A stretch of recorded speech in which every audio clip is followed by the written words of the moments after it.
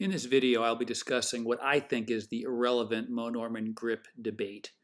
Now this video, or this image that you see right here, is Moe Norman showing Craig Shankland in the, in the video that Craig did for Moe in 1994 for the PGA teaching, coaching and teaching summit where, where Moe was crowned the greatest ball striker by the PGA. And uh, so this was 1994, and Moe changed his grip in December of 1992, and I'll show you when that was. So this is a picture from a book written by Ralph Mann, and I don't know Griffin's first name, but Ralph Mann is a biomechanist who was a runner, and he got into golf. So this is page 38, where the teaching pro, Griffin, is explaining to us that the 10-finger grip stifles freedom and prevents the hands from performing in a, performing in a unified fashion. Well, if that's true, then how did Moe Norman strike the ball just as well with his split finger, 10 finger grip as he did with his overlapping Vardon grip? We're also told in this book that although Jack Nicklaus favored and Tom Kite did too the interlocking grip, it's the most difficult grip to employ correctly. Think that's true? I've tried all three and what feels best to me is interlocking, me personally. But that's me. So here's a problem with a lot of these books and when pros tell you this is the way you do it, that's the way you do it. Really, where's the scientific evidence for this? You can see your scientific method. Where is the scientific evidence that any of this is actually true? And I will tell you there is none because there's been no scientific studies on grips like this. So no one really knows. It has to be preference.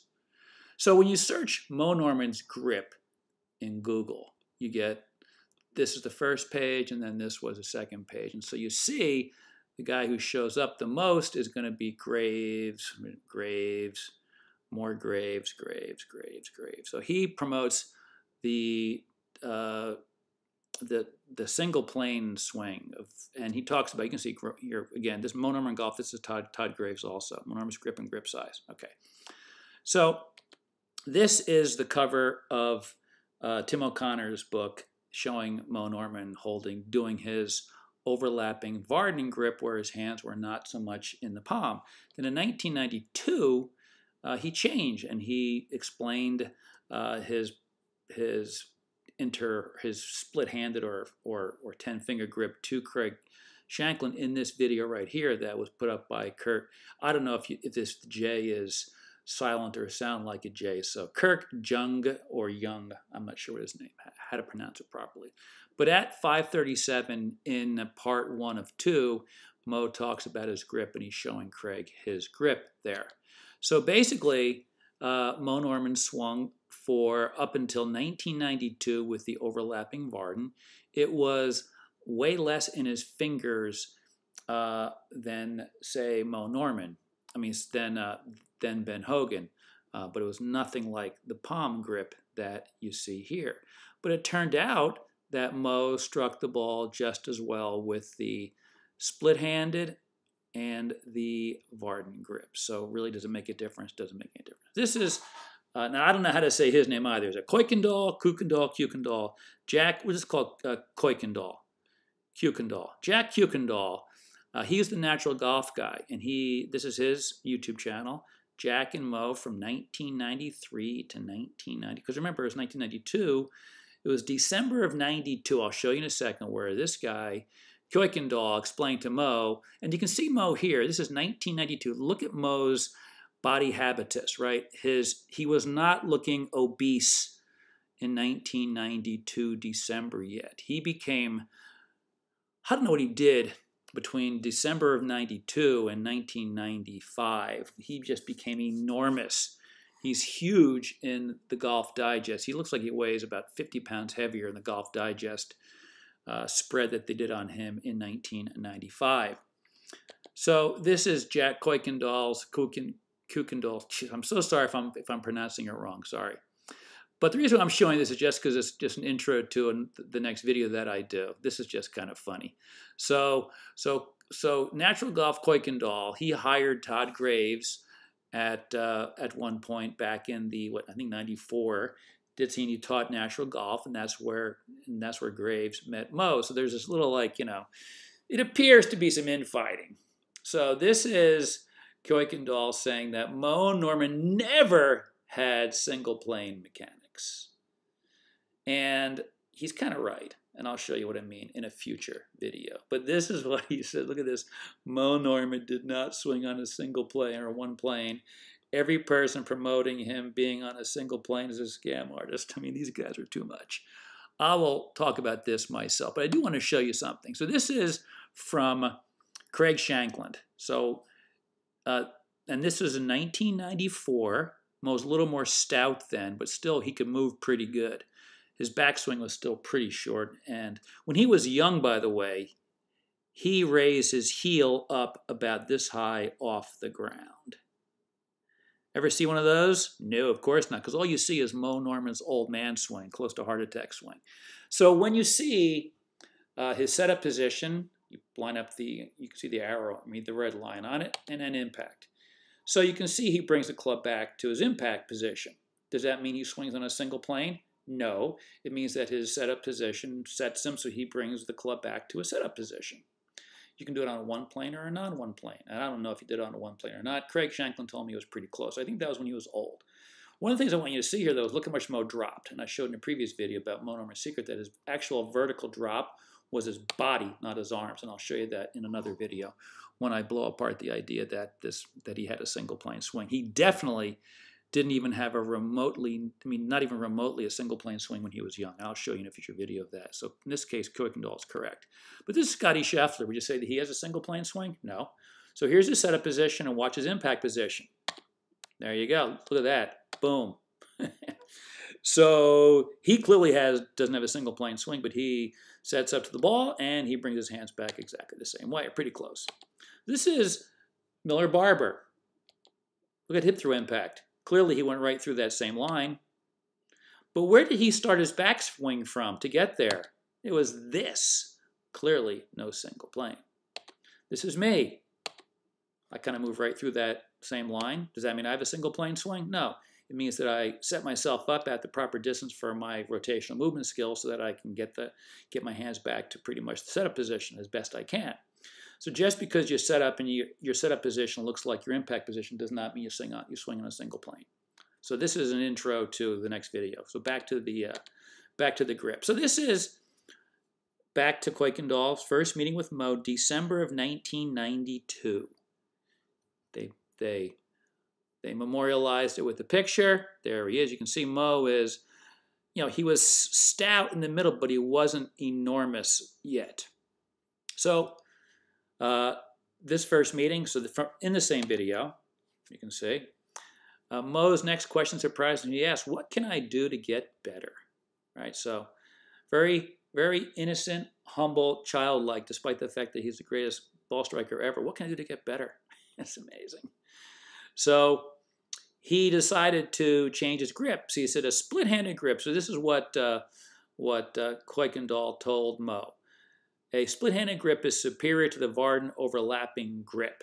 So Moe tried it, allegedly, according to Kuykendall. After about 10 strikes, Moe looked up and said, this is better, and then Moe played with a split-handed grip until his death in 2004, which is absolutely true. And this, of course, is showing in 1994 uh, of his his his uh, his split finger grip, his split-handed grip. Okay, so this guy you've never heard of, uh, but Moe Norman certainly did. This was Moe Norman's best buddy in Florida from 19, well, from 1970 until he died in 2004. Gary Wince is the head pro at New Smyrna Golf Club in New Smyrna Beach. He grew up in the Daytona area and he started watching Moe hit balls when Gary was just seven years old.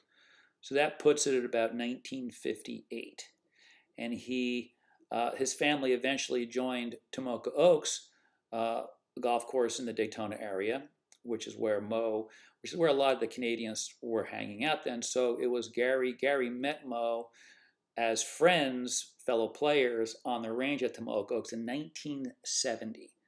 So that puts Moe at about 40 years of age. And so, Gar- so Gary played golf with Moe 1970 to 74 for six months out of the year when Moe was down from, from Canada. They would have breakfast at Tomoka Oaks. They would hit balls.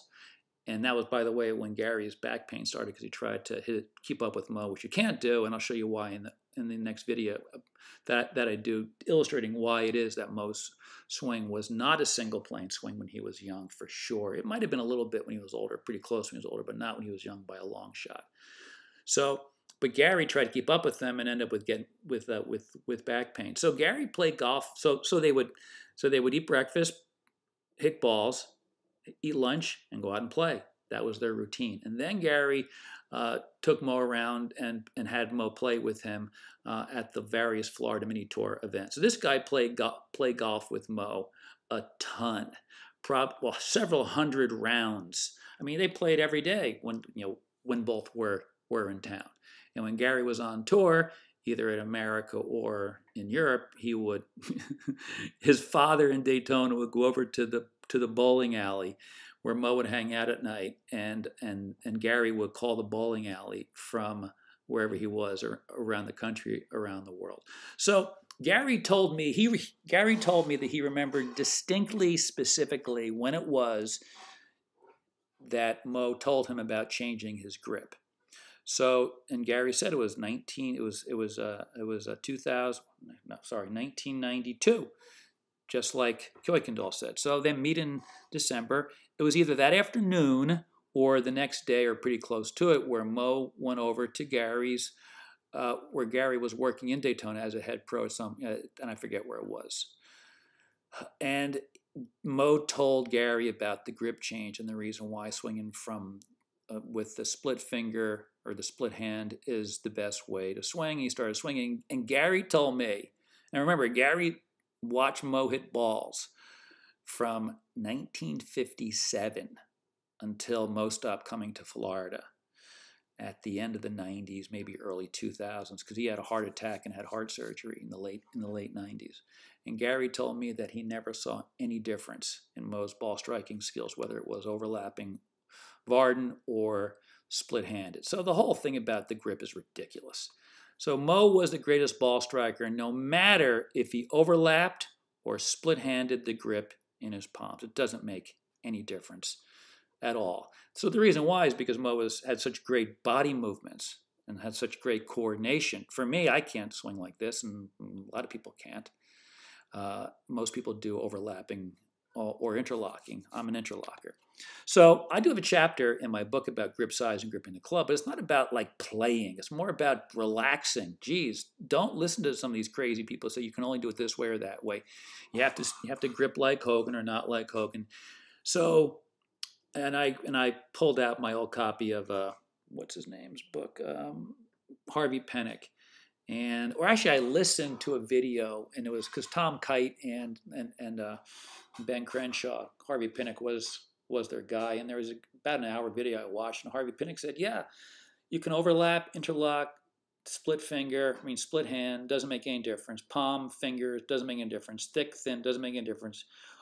It boils down to what makes a difference for you, not for the teaching pro who's teaching you or the book that you're reading. So whatever works best for you. On this driver, I've got the medium jumbo max uh, so they're very thick. On my regular irons, I've got one set of iron with the thick Jumbo Max and other ones with just built up uh, jumbo grips because I like I like big grips. That just works for for me. So from if this is the first time you've happened to watch a video by me, here is here is my approach as an amateur trying to suck less. Our setup distance from the ball should be based upon our movement skills so that at impact or getting close to impact right here, you can see that I have maintained my spine angle. I have not done it, I have not moved into early extension, and you can see I have not stood up or moved forward, right? So your setup distance from the ball should be based upon you maintaining these confines or closest, hopefully better than this, but you know this isn't horrible and then learning to swing from the heels. What I mean by that is staying off of the toes. So for me, uh, I don't care, you know, grip, take it outside, inside, whatever you want. It doesn't make any difference to me. you want to make sure that your setup distance is proper for your movement skills and you're staying off your toes. Everything else is pretty free for all. And if you watch these guys swing, look at Jordan Spieth. Look at because uh, right now, as I'm doing this, the uh, the playoff is going on for for the 2023 Heritage. Look how different Spieth swing is from Scheffler, from Cant, uh, and from Matthew Fitzpatrick. Totally different swing styles, but they all follow these rules. They can stand closer to the ball and follow these rules. They all follow these rules, these two rules. They follow these two rules, period. They can all follow these rules by standing close. I can only follow these rules in a, very, in a, in a much less dynamic fashion if I'm down here. I'm really more like, I'm a CD guy. So you got to figure out what your distance is. And all the rest of this is about how to get rid of error factors. So it's not about, you know, this is how to play golf. Hardly the case. This is how to suck less to get rid of error factors in the swing. And the two most important error factors that amateurs have is we stand too close to the ball and we swing from our toes. Those are the enemy, and no tip will help you swing better if you have those two problems. So check out the book if you have an interest. Just, just go right to Amazon, type in the name, and check it out. You can do the look inside thing and check it out.